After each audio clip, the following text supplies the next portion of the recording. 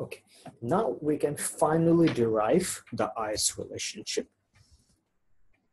Okay, so let me draw another diagram right here. I'm going to put y here and I'm going to put I here, interest rate. Okay, now here's the tricky part. I'm going to drag this down.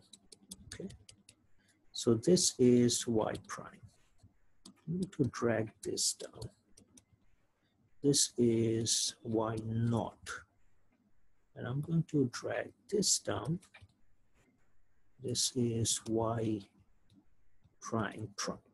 Okay, now when we had an output of y prime, what was our interest rate? Our interest rate at this point was i prime. Uh, and remember what we know is that i prime is larger than i, which is larger than i prime prime. Okay. So suppose this point, this is where we have i prime. Okay, now let's come to the next point. We have y naught. When we had an output of y naught, what rate of interest did we have? We had i, and i is less than i prime. So suppose this point right here is i. And similarly, let's come to the third output, y prime prime. When we had y prime prime, uh, what rate of interest did we have? We had i prime prime, which is less than i. So suppose this point, i prime prime, this point. Now, if we join this points,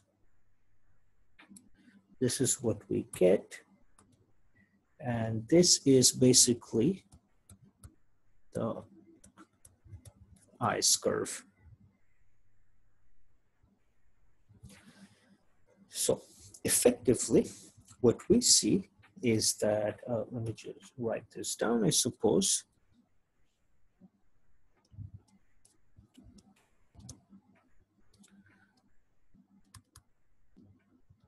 When interest rate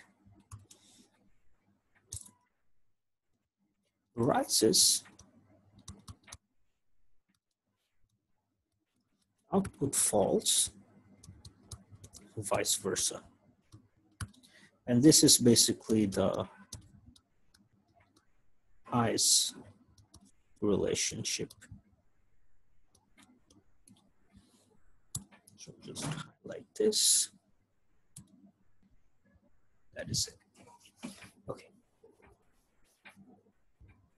So remember that whenever we have a downward sloping curve like this, there are two things effectively that can happen to this curve. One is movement along the curve.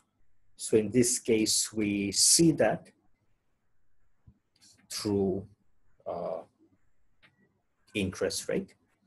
So when the interest rate is changing, we stay on the same curve, but we move up or down on it. So from this point, we move down the same curve if interest rate is falling, and we move up if interest rate is increasing. But another thing that can happen is if uh, is the, entire curve shifting left and right. And the question is, when might that happen? Uh, once again, I would recommend that you guys pause the video, think about it for a while, and try to figure out that under what condition might the IS curve shift. So now the question is, um, what, what, what does it mean for the IS curve to shift? that means, well, let me just draw this again.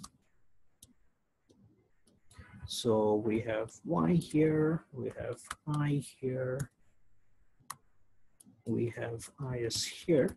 And if the IS curve is to shift, suppose it shifts outside and we have is prime, what does this shift really mean? It means that at the same level of interest, at I naught, interest rate has not changed. At the same level of interest, something has happened for which the economy is now producing more. How might this happen? Why might this happen? And the answer is very simple. Uh, let me write down the equation once again.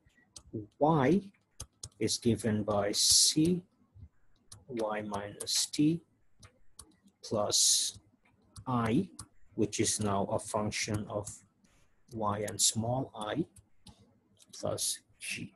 Okay, now what we are seeing is that for the same level of i, this has not changed. For the same level of i, y has gone up. Why might that be? How might that be? And the answer is simple. That's because something from the autonomous part of demand has changed. And autonomous part is either G or T. So either government expenditure has changed or the government's tax revenue has changed, which has caused IS curve to shift. Now, let's try to figure out which one and in which direction. IS has shifted to the right. Output has increased. So if we're talking about government expenditure, then it must have increased. Because if Y is to increase, government expenditure has to increase.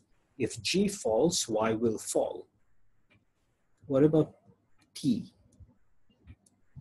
T must have decreased because if once again, if Y is to increase, tax has to go down. Because at the end of the day, if tax is going up, if you have to spend more in tax, you're going to be consuming less, you're going to be investing less. As a result, your demand will fall. As a result, your output will fall. So this is overall, let me sum up what we have found so far is that when interest rate change. That leads to a change in demand. This relationship is inverse. So when interest rates go up, demand falls. And when interest rates go down, demand increases. We showed this relationship in this diagram. From this diagram, which was Z against Y, we extrapolated and drew a diagram of I against Y, and we found a downward sloping curve, which is the IS curve. That basically tells us that interest rate has an inverse relationship with output in the economy. So whenever interest rate is high, we expect output to fall. Well, the first thing that will happen is when interest rate is high, demand will fall as a result, output will fall and vice versa. When interest rate is low, demand will go up. As a result, output will go up. After this, we, we, we, we saw under what circumstances the IS curve will shift. In this instance, we only saw movement along the IS curve, which only happens when interest rate is changing, but there is still government. And whenever government's actions change, it obviously has an effect on the economy.